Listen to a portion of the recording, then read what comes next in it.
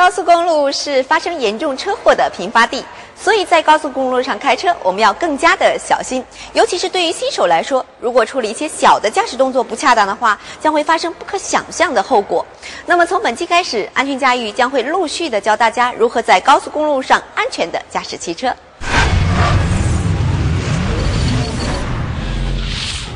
关注汽车生活，普及汽车安全驾驭知识，欢迎来到本期安全驾驭学堂。大家好，我是林夕。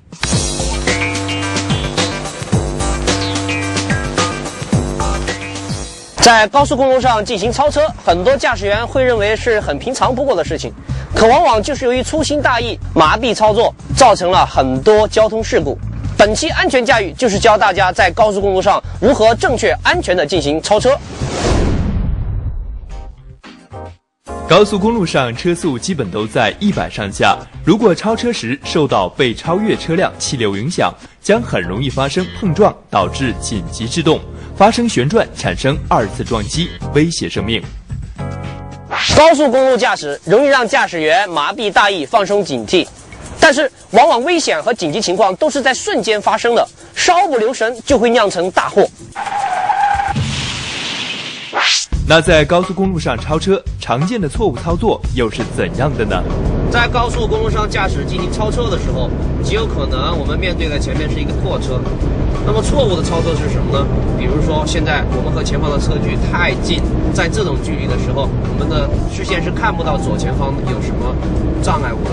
由于跟车的距离太近，导致我们无法看清左前方的路况。如果驾驶员此时向左超车，遇到前方有车辆时，后果将非常严重。还有一种错误的方式是什么呢？那就是在超车的时候呢，和对方并驶的距离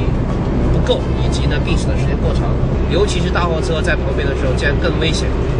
在高速公路进行超车动作，慢慢悠悠，与被超车辆并行，由于气流影响，容易发生刮蹭。有些驾驶员在超越过程中，在没有保留足够安全距离的情况下，就驶回原本的车道。由于超车驾驶员错误判断被超越车辆和自己车辆的速度差，导致被超越车辆和超车车辆发生了严重的追尾旋转碰撞，威胁生命。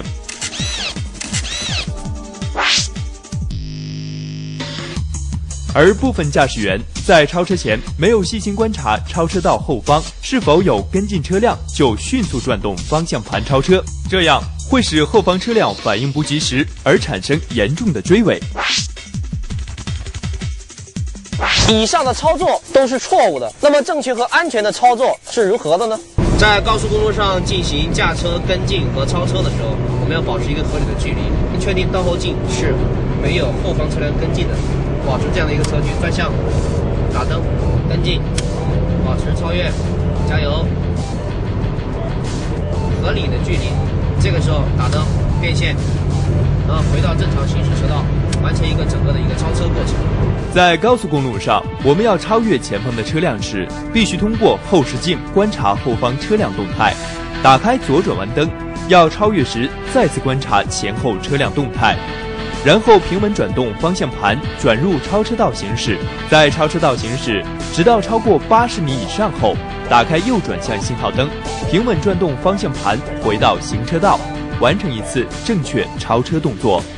在高速公路上进行正确和安全的超车，应该是这样操作的：首先要保持和前车至少一百米的距离以上，同时要确认左后方没有跟进的车辆。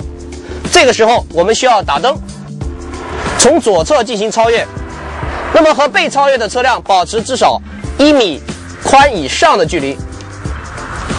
同时，我们要拉开超越车辆至少有三十米的距离，然后再进行并线。整个超车的一个过程分了四个步骤，那么我们牢记以上四个步骤，就可以做到在高速公路上进行安全和正确的超车行为。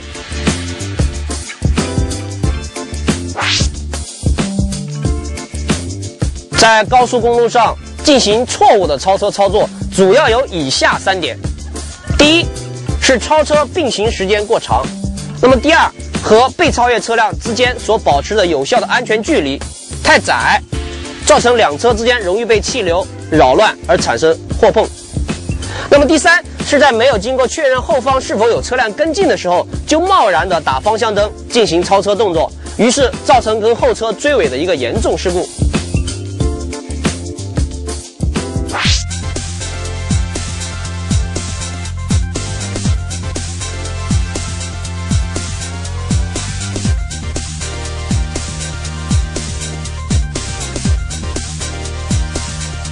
相信各位观众在观看了本期节目以后，对如何在高速公路上进行正确和安全的超车已经了然于胸。好了，希望大家能够学以致用。本期节目到此结束，我们下期再见。